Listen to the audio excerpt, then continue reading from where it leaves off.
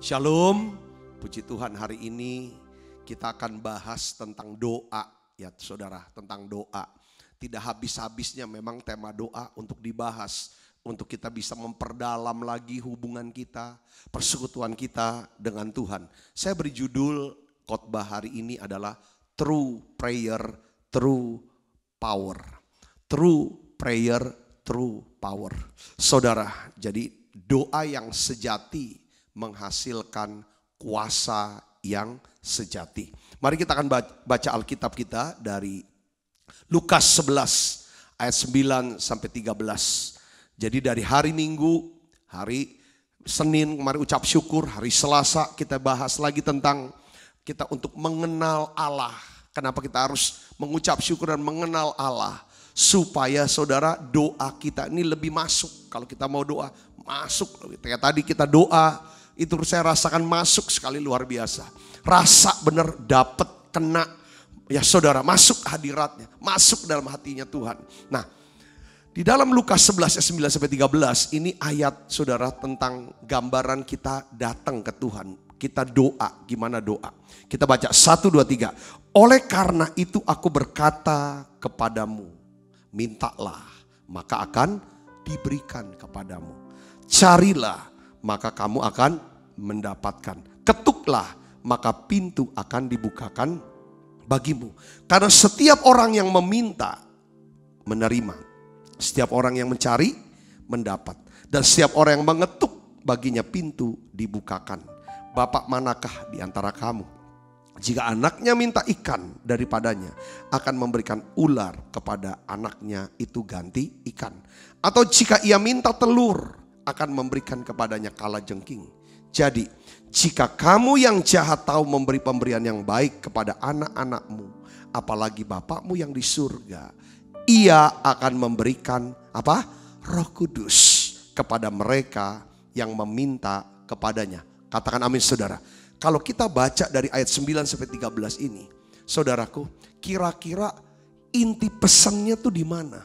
Kita punya Allah, saudara, yang murah hati dan baik hati. Yesus berkata, minta, maka akan diberikan. Saudaraku, mungkin saudara suka minta sama orang tapi nggak diberikan. Sehingga ketika kita doa, apa Tuhan akan beri. Itu sering kali muncul. Saya ingin, makanya kemarin Tuhan dorong saya untuk bagi. Supaya kita bisa kenal Allah kita. Allah beda dengan manusia. Saudaraku, di sini dikatakan, carilah, maka kamu akan mendapat. Cari Tuhan, Tuhan mau didapat, ditemui. Saudaraku. Lalu yang ketiga apa? Ketuk pintu, ketuk pintu. Maka pintu akan dibukakan. Kalau saudara mulai upaya, usaha keras. Ada jalan yang Tuhan akan bukakan buat setiap kita. Yang percaya katakan amin saudara. Bahkan ditutup dengan kata begini saudara. Kalau bapakmu yang di dunia ini yang jahat. Tahu memberi pemberian yang baik apalagi Bapakmu yang di surga. Di sini katakan, ia akan memberikan apa? Roh Kudus. Bukan ngasih duit, saudara. Roh Kudus. Wow. Nih saudara. Seringkali kita di dalam dunia ini yang kita carikan hal-hal yang bersifat, saudara apa? Jasmani. Yang kelihatan. Itu nggak apa-apa. Memang itu yang kita butuh. Tetapi jangan sampai berhenti sampai di sini. Saudara, kita harus, saudaraku yang kasih Yesus mencari ya kan? Harusnya mendahulukan yang namanya kerajaan Allah dan kebenarannya maka semua yang sementara ini saudara itu akan ditambahkan kepadamu. Karena gini saudara saudara harus tahu nanti kalau Tuhan kehendaki saya akan cari waktu untuk susun dulu khotbah. Tentang gini. Uh, bahwa kelak nanti kita akan menghadap tahta pengadilan Kristus. Kan ada orang nanya kenapa kita udah diselamatkan harus menghadapi pengadilan lagi saudara. Karena semua orang yang pernah hidup, yang lahir dan hidup di dunia harus menghadapi pengadilan. Yang jadi hakim itu adalah Tuhan Yesus Kristus. Itu saudaraku. Ya kan? Saudara percaya, nggak percaya, itulah kenyataan, kebenaran yang akan terjadi kelak. Itu ditulis oleh Alkitab. Orang-orang yang percaya sama Yesus, saudaraku, dia harus masuk ke pengadilan nih. Tapi bukan untuk dihukum. Karena Tuhan buka nih, waktu pengadilan dibuka. Satu kitab, namanya kitab apa? Kitab kehidupan. Kalau ya kan, dicek, oh ada nama Sabta Tandi. Saudaraku, kalau nama kita ada Sabta, di kitab kehidupan.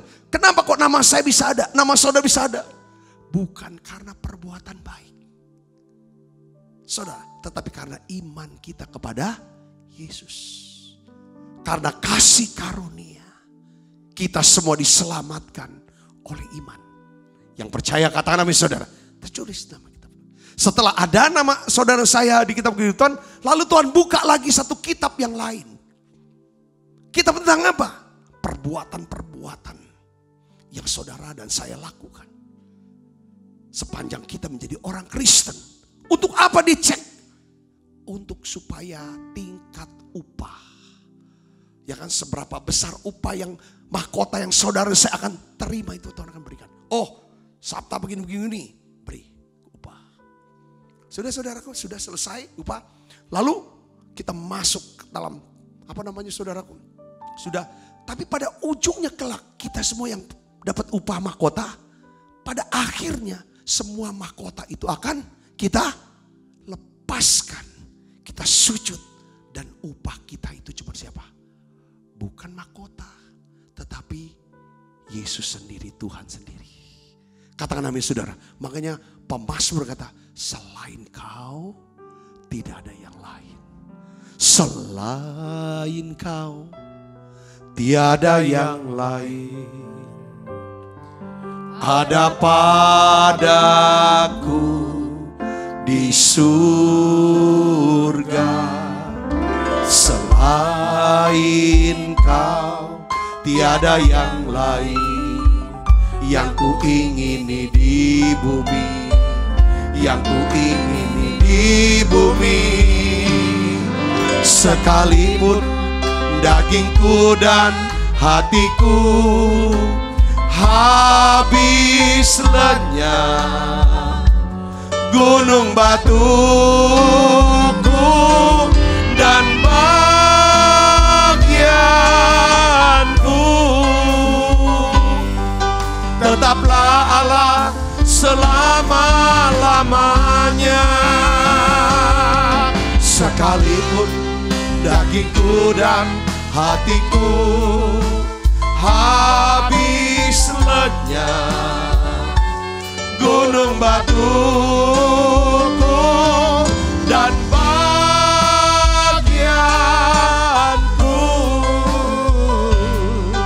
tetaplah Allah selama-lamanya.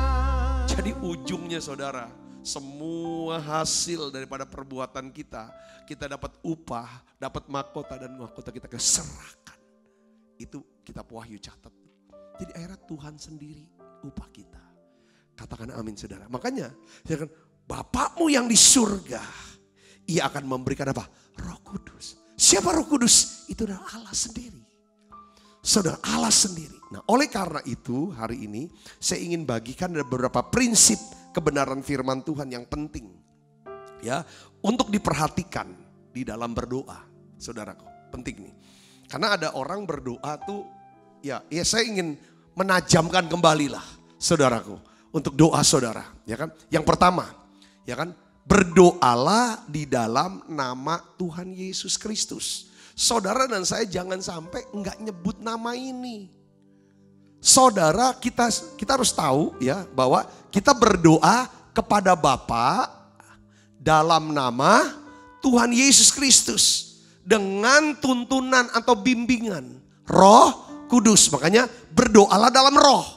Maksudnya doanya didorong oleh Roh atau berdoa dalam bahasa Roh, saudaraku. Tapi berdoanya kepada siapa? Kepada Bapa saudaraku Yesus Kristus. Nah, Yohanes 14 ayat 13. 14 katakan begini. Apa saja yang kamu minta dalam namaku, dalam nama Yesus. Aku akan melakukannya supaya apa? Bapak dipermuliakan dalam anak. Jikalau kamu meminta sesuatu kepadaku dalam namaku, aku akan melakukan dalam dua ayat. Tuhan memerintahkan kita berdoa dalam nama Tuhan Yesus. Kenapa? Ya nggak bisalah kita datang ke Allah kalau nggak sebut nama Yesus. Kenapa harus sebut nama Yesus? Lah kita ini kan orang berdosa. Upah dosa adalah tebuang dari hadirat Allah. Tebuang saudaraku ke dalam api penghukuman. Tidak bisa terpisah. Saudara, kita bisa datang. Kita bisa datang kepada Allah. Itu karena Yesus yang sudah mati di salib. Darahnya dicurahkan. Untuk apa? Menebus dosa kita. Doa itu harus harus orang nggak bisa sembarang datang. Saudaraku, mungkin orang orang nggak kenal, apa nggak bisa. Harus ketika sebut nama. Satu hari saya datang kepada salah seorang petinggi waktu dulu. Ya, beliau nggak kenal saya, nggak tahu saya. Tapi saya sebut nama daripada saudara saudara daripada seseorang yang dekat sekali dengan beliau. Ya kan karena memang beliau bilang sebut, sebut aja nama saya, saya sudah hubungin kok. Saudaraku, Nah, saya datang. Pak, saya ini datang ini atas nama ini, atas nama ini. Saya bisa ngerti di sini. Kita datang kepada Bapak. Jangan kita kita ini nggak layak datang. Kita bisa dilayakkan karena siapa? Yesus Kristus. Katakan amin saudara. Ini dasarnya doa. Kadang ada doa, kadang-kadang terlalu kita lupa. Kadang-kadang jadi Kristen tuh nggak ada nyebut nama Yesus, doa aja langsung. Tuhan gini-gini nih, amin. Maka itu itu doa. Kita mau doa yang lebih tepat. Saya mau ajar kepada Bapak dalam nama Tuhan Yesus. Saudara bisa ngerti. Kenapa? Saudara kita sebut nama ini. Karena Allah tuh hanya lihatnya Yesus nggak lihat kita loh. Saudara bisa mengerti ini. Katakan kita bisa layak, kita dibenarkan karena siapa? Karena Yesus. Di dalam Filipi 2 ayat 9 11 ini menegaskan saudaraku. Di sini dikatakan bahwa itulah sebabnya Allah sangat apa? Meninggikan Yesus dan mengaruniakan kepada Yesus nama di atas segala nama. Supaya dalam nama Yesus apa? Bertekuk lutut. Segala yang ada di langit, yang ada di atas bumi, dan ada yang di bawah bumi. Dan segala lidah mengaku Yesus Kristus adalah Tuhan bagi kemuliaan.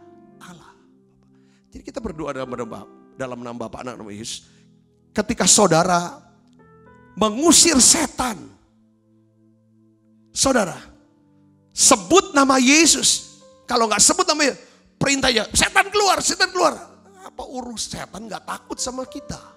Siapa kita mau usir-usir setan. Tapi kalau kita sebut dalam nama Yesus, saya perintahkan kau iblis, keluar. Dia keluar. Kalau kita bisa perintahkan penyakit dalam nama Yesus, segala sakit penyakit, sakit kanker, sakit tumor, sakit mata, pergi dalam nama Yesus. Perkata kita punya kuasa bukan karena mulut kita, tapi kita bawa nama Yesus. Yang mengerti kata nama saudara. Saudara bisa sebut dan panggil nama Yesus kalau saudara dan saya sudah mengundang Yesus masuk dalam hati. Arti mengundang Yesus bertobat, percaya pada Yesus, menjadikan Yesus sebagai Tuhan dan juru selamat secara pribadi. Ini ini kuncinya di sini, saudaraku. Nggak bisa nyebut-nyebut aja tetapi Yesusnya nggak ada di hati. Seperti apa? Anak-anak skewah di, di, di, di cerita di kisah para rasul. Ya dia ikut-ikutan aja mau usir-usir setan. Setan bilang, eh Paulus aku kenal. Ini aku kenal, kamu siapa? Langsung dia dirasuk sama setan. Saudara, udah bisa. Jadi ini penting saudara tahu bahwa kita berdoa dalam nama Tuhan Yesus. Itu pengertian yang pertama. Ya saudaraku, jangan nggak sebut, harus sebut. Saudaraku, doa kepada Bapak dalam nama Tuhan Yesus. Kalau saudara Tuhan bilang, ya kan, ya kan kamu harus berkata kepada gunung ini. Gunung itu bisa bicara ya, masalah apa segala macam. Itu harus dalam nama Yesus langsung bicara. Perintah untuk otoritas mengusir. Ya, saudara bisa ngerti sini. Yang kedua adalah doakanlah, kalau berdoa doakanlah apa yang menjadi pengharapan. Bukan hanya sekedar mendoakan apa yang sedang kita alami. Maksud saya begini saudara. Saya suka dengar orang berdoa, ya saudara orang berdoa, cuma ngomong misal doa untuk kesembuhan penyakitnya, untuk untuk penyakitnya. Dia ngomong tentang Tuhan, aku lagi sakit Tuhan, sakitnya gini Tuhan. Capek aku sakit ini Tuhan. Aduh Tuhan, tolong Tuhan tolong. Bukan gitu doanya. Boleh, harus ada pengharapannya.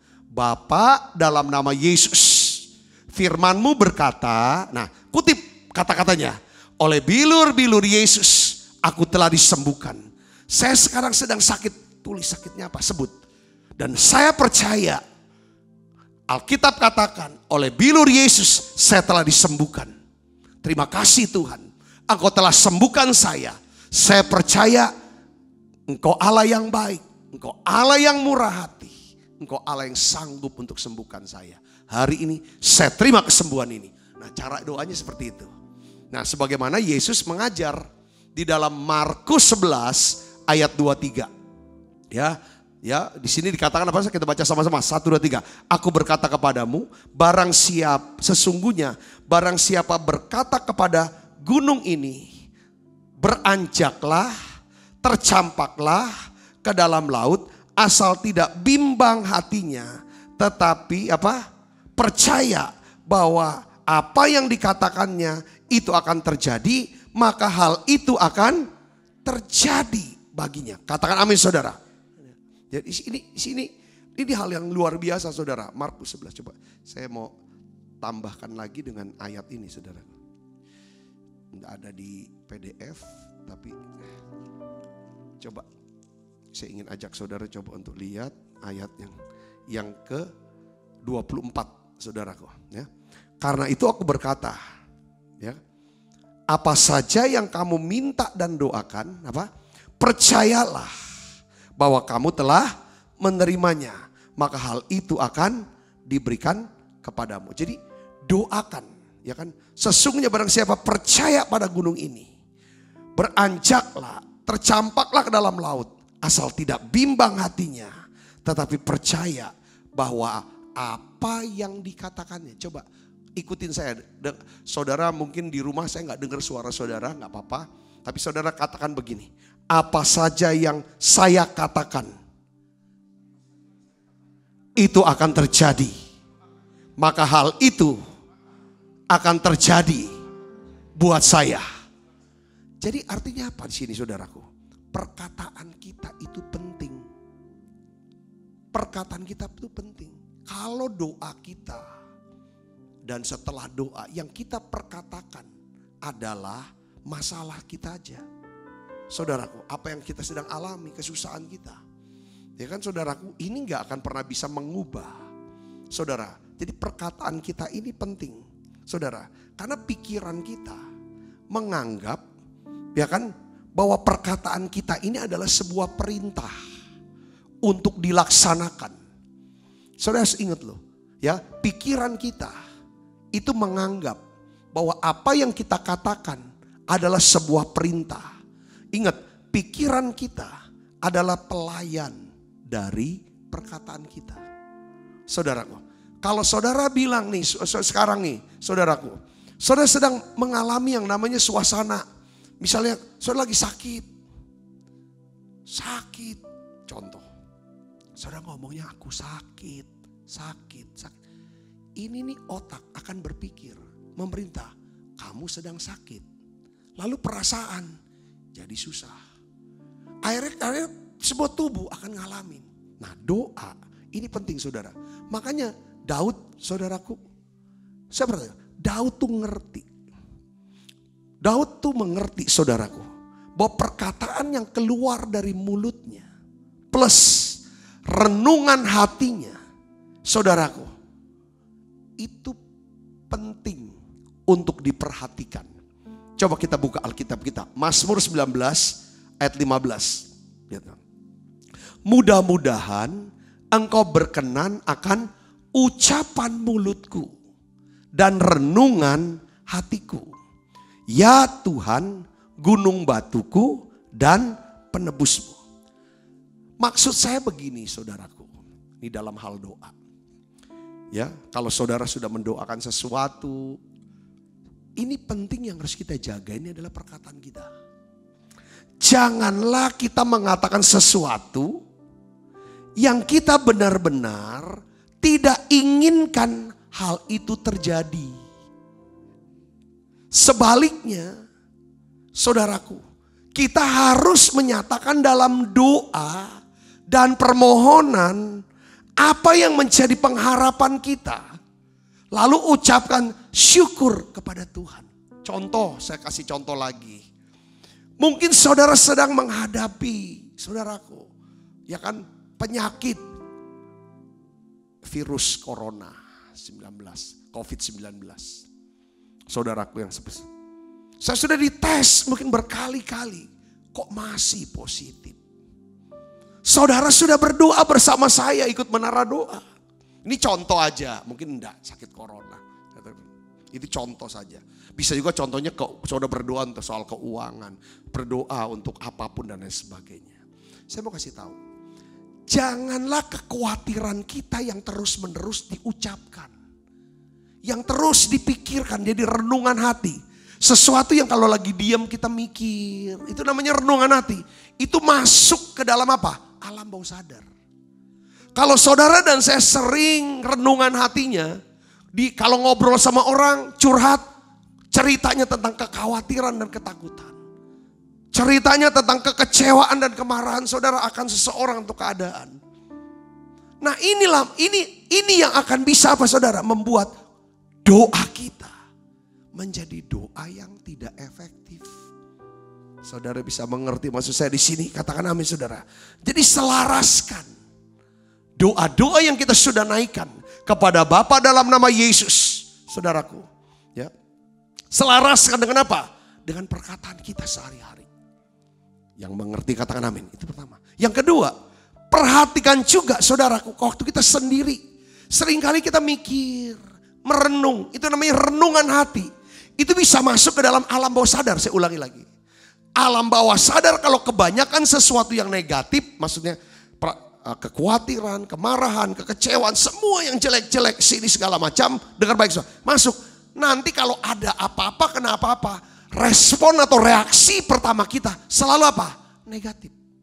Makanya kenapa saudara kita selalu, ya kan, kita diajar dan saya selalu mendorong diri saya. Saya ngajar, perhatikan renungan hati kita. Karena renungan hati ini saudara, yang akan menentukan apakah Allah bisa bekerja, apakah Allah bisa menolong kita. Itu tergantung dari kita.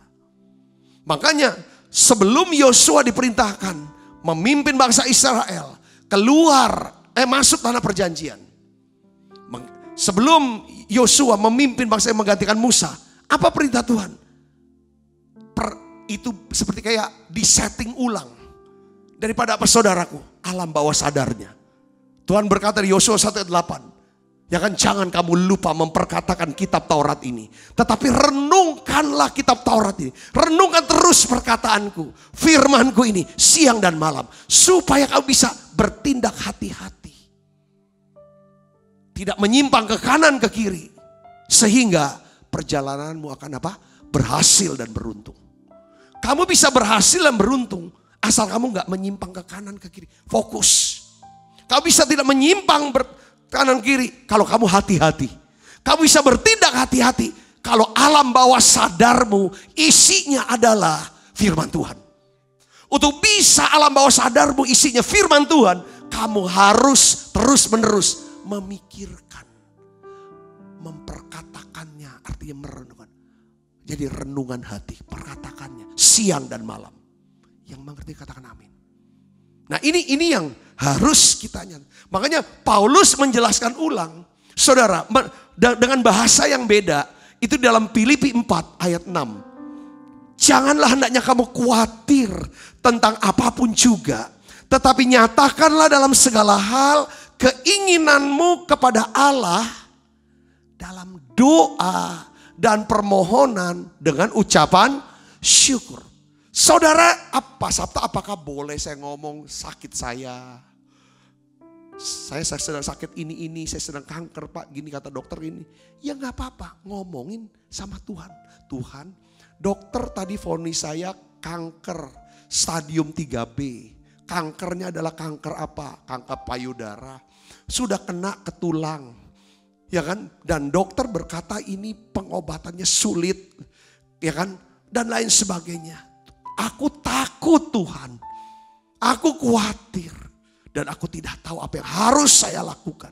Tapi hari ini mataku tertuju kepadamu. Angkat kekhawatiran saya. Saya percaya saya punya Allah yang dapat dipercaya.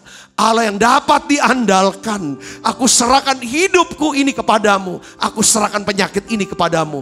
Tuhan beri saya damai sejahtera. Dan saya bersyukur Tuhan sanggup menyembuhkan saya. Mungkin kurang lebih seperti boleh ngomong. Pada waktu saudara doa seperti ini kurang lebihnya. Pasti apa? Ada damai sejahtera.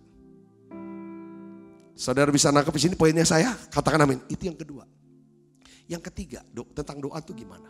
Pertama doa kepada Bapak dalam nama Yesus. Harus ada nama Yesusnya nih. Jangan gak hilang. Kalau saudara usir setan, ya gak bisa setan pergi. Kalau tidak ada nama, nama Yesus keluar dari mulut yang berasal dari mana? Dari hati yang sudah kita percaya sama dia. Usir segala sakit penyakit. Karena penyakit bisa disebabkan oleh setan. Karena setan itu pembawa sakit penyakit. Nah, itu yang kedua.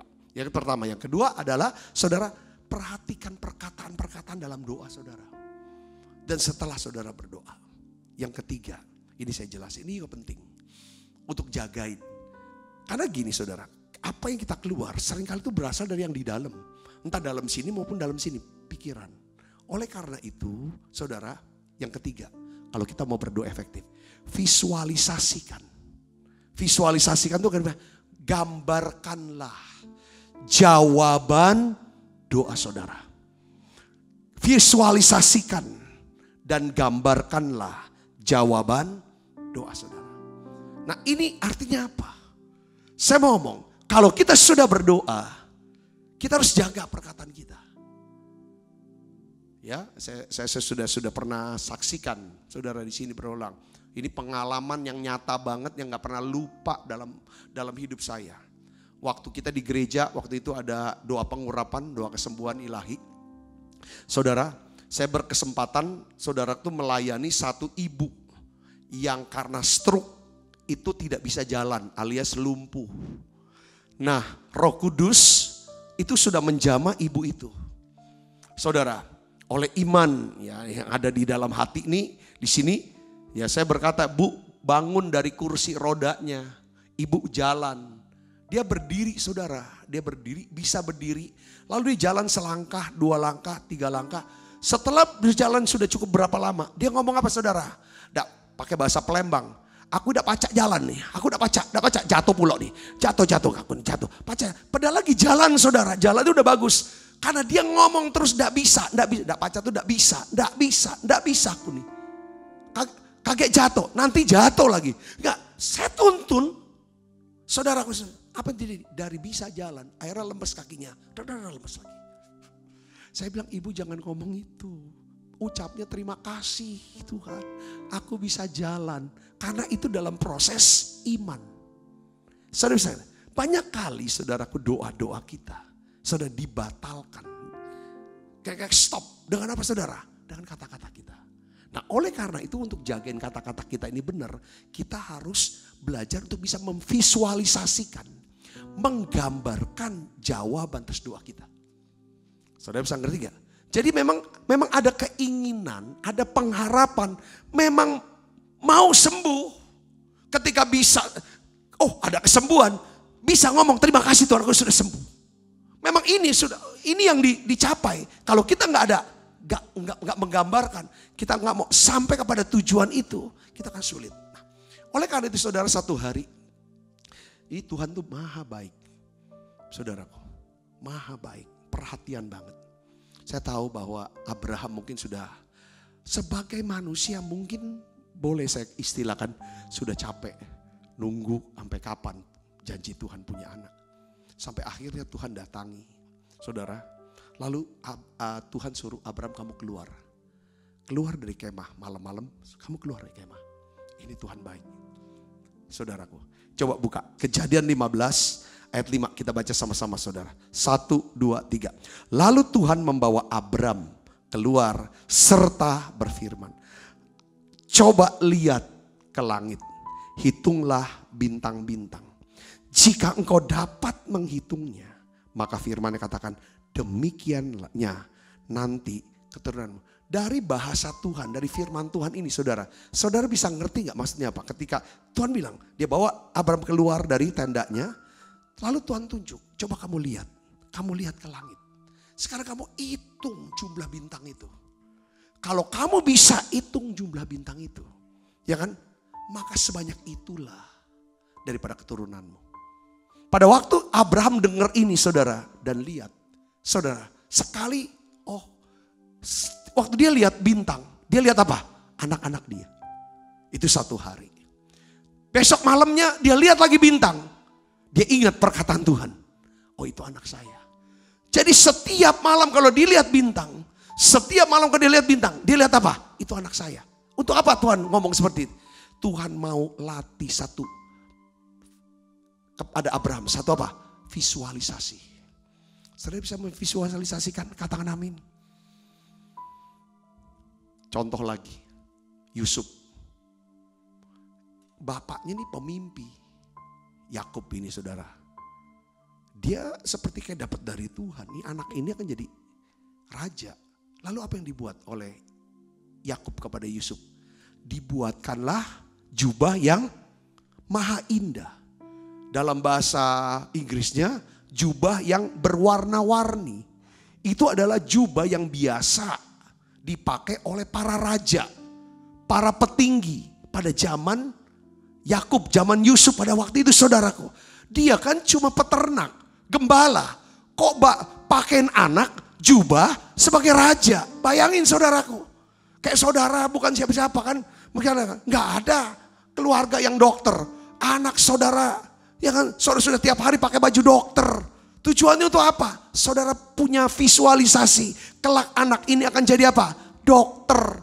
Kalau saudara ingin anak saudara jadi jadi jenderal Kapolri, jenderal polisi, pakaiin kalau masih kecil tidak apa-apa kali ya. Ya kan jenderal bintang 4 yang anak-anak TK SDB Tesda saudara itu juga pada pakai yang TK ya TK itu ibu gurunya pakai pakai polisi saudara. Saya bilang kok polisi pangkatnya yang ini apa namanya? Paket yang sersan. Jangan yang sersan, saya pernah ngomong sama ibu gurunya. Kalau Bita yang jenderal. Ya kan ya kalau cita-cita jadi sersan aja jangan. Jadi yang tinggi dikit gitu bintang 4. Kalau misalnya gagal dikit ya bintang 3. Turun lagi bintang 2 jadilah. Gitu kan. Jangan sersan kalau sersan gak nyampe kan kopral. Kalau kopral gak nyampe ya kan saudaraku. Nah ini ya itu intinya kenapa mau dibilangin. Nak kelak kau akan jadi polisi, jadi kapolri, jadi jenderal. Tujuannya apa? Visualisasi, didoakan, diupayakan. Jadi doa tuh harus ada saudara satu gambaran.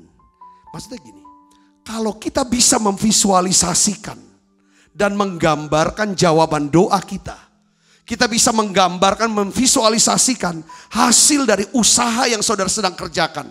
Saudara kerja apa? Bisnis apa? Karir saudara tahu. Saudara bisa visualisasikan. Gambarkan saudara kelak Tuhan akan beri seperti apa. Dengar baik saudaraku. Maka Tuhan akan mewujudkan, memberikannya dan melakukannya buat saudara. Katakan amin. Kalau saudara bisa memvisualisasikan seluruh keluarga saya. Seluruh orang yang saya kasihi Semuanya bertobat, percaya Yesus diselamatkan. Saudara lihat, mereka akan pergi gereja bersama saudara, menyembah Tuhan bersama saudara. Dengar baik kalau kita bisa gambarkan dan visualisasikan, maka Tuhan akan mewujudkannya buat saudara. Katakan amin. Kalau saudara bisa sekarang sedang sakit terbaring, saya bisa memvisualisasikan bahwa penyakit ini tidak mendatangkan kematian. Tapi justru menyatakan kemuliaan Allah saya akan ada duduk bersama dengan anak saya. Di sebelah anak saya yang sedang menikah. Saudara belum menikahkan anak. Tapi dokter sudah vonis. Dengan penyakit yang mematikan, saudara bisa gambarkan, visualisasikan. Saya akan hadir di pernikahan anak saya. Saya bisa menggendong cucu saya. Katakan amin saudara. Ini contoh-contoh yang saya milikan. Saya bisa lihat bahwa saudara akan dipakai Tuhan cara luar biasa. Ketika saudara bisa visualisasikan itu, gambarkan itu, maka apa yang terjadi? Saudara percaya, inilah janji Tuhan buat saudara. Maka Tuhan itu akan menggenapi. Katakan amin saudaraku.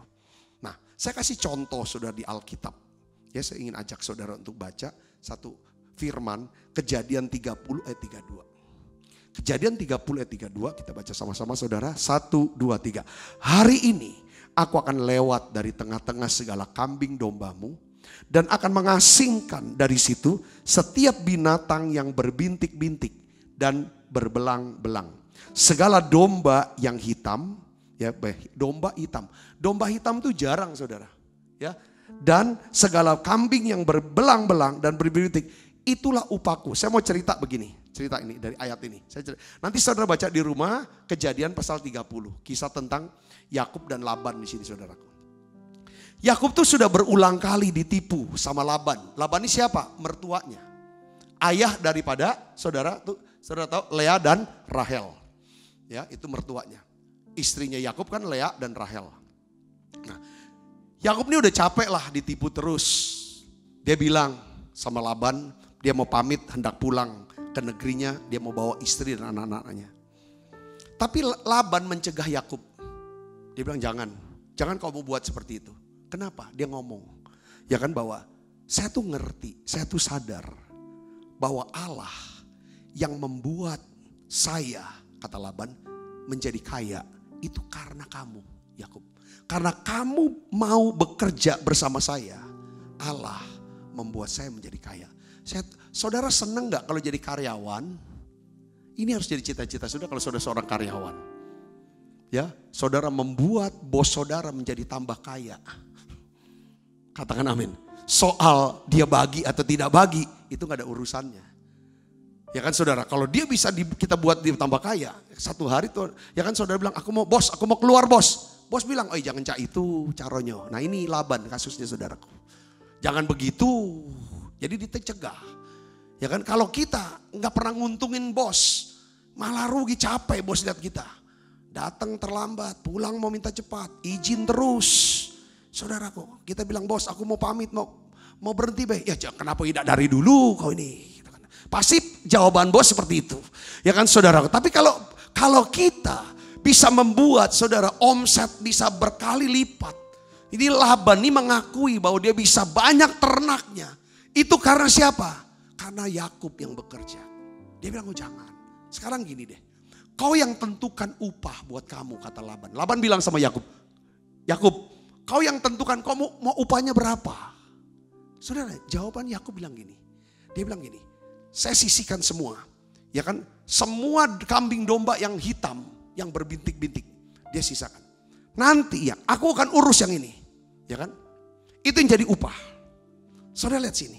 Ini kan kalau domba tuh banyaknya warnanya apa saudara? Putih. Kalau kambing ya polos banyaknya saudara.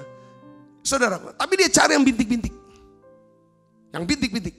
Mau kalau uh, domba putih di, dikawinin, anaknya lahirnya apa saudara? Ya warnanya putih saudara. Dia bilang kalau yang lahir nanti warnanya hitam. Kambing nanti belang-belang. Banyak kan kalau misalnya kayak Misalnya uh, laki, laki uh, suami istri, kulitnya sama-sama putih, saudara. Orang putih kawin sama orang putih, orang bule kawin sama orang bule. Anaknya kulitnya apa saudara? Putih juga. Mungkin gak hitam. Keriting rambutnya, enggak mungkin. Ini saudara cerita. Tapi itu yang diminta, yang diajukan Yakub kepada Laban. Saudara sini. Tetapi hasilnya adalah apa? Apa yang dia minta? Saudara dia bilang, kalau ada hasil yang hitam dan bintik-bintik itu punya aku. Laban, kesenangan, hal yang susah nggak mungkin ini bisa terjadi. Lalu bagaimana hal itu bisa terjadi? Saudara tahu nggak? Nih ayat 37 sampai 40. Saya mau cerita tentang kuasa daripada visualisasi. Kalau saudara bisa memvisualisasikan. Saya tuh suka memvisualisasikan. Saya waktu awal-awal pelayanan, Saya suka melihat, ya saudaraku walaupun kita belum punya gedung gereja, belum punya apa-apa, saya sudah bayangkan Tuhan, Tuhan yang panggil aku jadi hamba Tuhan di kota Palembang. Aku percaya Tuhan ada banyak orang akan diselamatkan. Banyak orang akan dipercayakan untuk digembalakan oleh kami. Dan Tuhan akan percayakan kami satu fasilitas, satu gedung gereja, ya kan, yang terbaik untuk kami. Selalu saya masih visualisasi. Tuhan aku memberitakan Injil dari satu kota ke kota. Akan banyak orang. Dulu kok siapa-siapa. Seterus. Saya nggak ngerti gimana cara Tuhan mewujudkan. Dan hari ini itu semua terjadi saudara. Katakan amin saudaraku. Ini. Ya kita nggak nggak nggak pernah ini. Ini saya, saya percaya. Apa yang dibuat oleh Yakub? Yakub lihat deh, binatang aja bisa jadi seperti itu. Saudara lihat, kita baca ayat 37. Ya, kita baca sama-sama. Satu. Lalu Yakub mengambil daun hijau dari pohon hawar, pohon badam, pohon berangan, dikupasnya lah daun-daun itu sehingga belang-belang sampai yang putihnya kelihatan. Terus perhatikan lagi ayat 8, ia meletakkan dahan-dahan yang dikupasnya itu dalam palungan, tempat minum di mana kambing domba itu datang minum sehingga tepat di depan kambing domba itu. Adapun kambing domba itu suka berkelamin pada waktu datang minum. Jadi pada waktu berkelamin saudara uh, kambing domba itu lalu pada habis berkelamin dia minum aus. Waktu dia minum saudara di depannya ada dahan yang dia buat bintik-bintik sampai keluar putih. Binatang aja kalau ngelihat bintik-bintik dan putih, anaknya jadi bintik-bintik dan putih, saudara. Hitam. Lahir. Dan saudara ini kuasa apa? Kuasa visualisasi. Lihat lagi, ayat 13. Jika kambing domba itu berkelamin dekat dahan-dahan itu.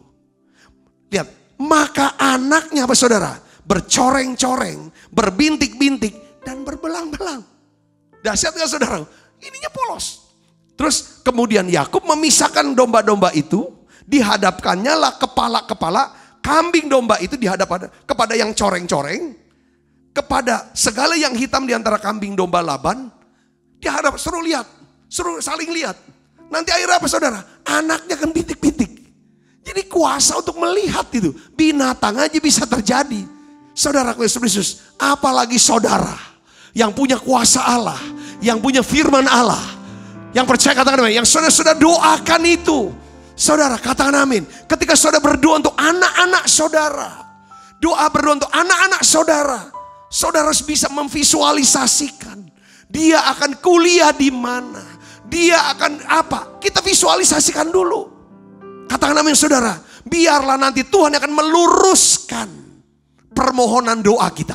Lalu jadilah kehendakmu. Kalau kita nggak pernah visualisasikan dan gambarkan itu, maka saudara Yesus nggak akan kuat nantinya. Ketika datang yang namanya jawaban, kita nggak tahu itu jawaban dari Tuhan. Seperti ibu perempuan yang mungkin dia mengharap untuk sembuh datang ke gereja kan pasti mau sembuh dong. Ketika sembuhan datang, karena dia nggak punya gambaran, karena tidak menggambarkan dalam pikirannya bahwa dia akan disembuh saat itu, dia nggak tahu itu kesembuhan sedang datang. Ibu bapak saudaraku yang kasih Kristus, gambaran visualisasi menciptakan satu energi kekuatan buat saudara. Gambaran menciptakan satu iman, bahkan pelihara iman kita. Gambaran menentukan kerinduan dan pengharapan kita. Gambaran bisa menciptakan, bisa diciptakan lewat apa? Perkataan dan pembicaraan. Kita bicarakan terus. Omongin terus, ada satu gambaran. Pembicaraan rohani selalu melahirkan gambaran tentang pekerjaan Tuhan. Katakan amin saudaraku. Jadi gambaran bisa menentukan apa yang saudara percayai. Gambaran itu dapat menentukan apa yang saudara percayai. Ya kan? Kayak Tuhan memerintahkan Abraham. Lihat bintang-bintang di langit. Dia bangkitkan imannya. Sebanyak itulah kelak anak-anakmu. Katakan amin. Gambaran menentukan kemenangan yang akan kita dapatkan. Katakan amin saudara. Saudara ingat rahasia sukses Yusuf. Dia selalu ingat. Dia akan mimpinya. Dia pegang terus mimpinya dan dia kejar mimpinya itu. Saudara, dan mimpinya itu menjadi kenyataan. Ya kejadian pasal 42 ayat 9 lalu teringatlah Yusuf akan mimpi-mimpinya tentang mereka yang percaya katakan amin saudaraku. Saya mau ngomong adalah bahwa ini tentang 1 Korintus 14 ayat 2 dan 4. Saudaraku, siapa berkata-kata dalam bahasa roh tidak berkata-kata kepada manusia tetapi kepada Allah sebab tidak ada seorang pun yang mengerti bahasanya oleh roh yang mengucapkan hal-hal yang rahasia Siapa yang berkata-kata dengan bahasa roh, ia membangun dirinya sendiri. Katakan amin saudara. Jadi Tuhan mengerti semua bahasa di dunia ini. Tapi Tuhan punya satu bahasa ya yang menjadi milik kepunyaannya dan diberikan kepada milik kepunyaannya sendiri. Apa bahasanya? Itu bahasa roh.